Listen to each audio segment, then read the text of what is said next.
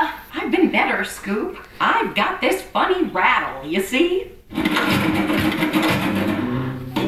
Sounds like junk in your trunk. I beg your pardon? You need to get that looked at quickly. But Curtis isn't here and Bob's much too busy. Well, you seem to know what you're talking about. Yes, I do, don't I? Thank you. In fact, follow me. Coming through, coming through. Minibus in need of immediate mechanical attention. On there, Bets. Scoop? What are you up to? Nothing for you to worry about. Oh, I always get worried when he says that. I really don't think you should mess around with the lift before Bob checks it's working, okay?